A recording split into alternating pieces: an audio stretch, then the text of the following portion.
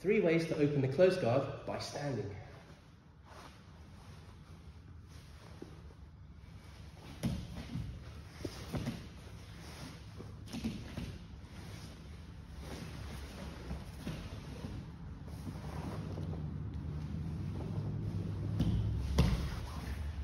Second way.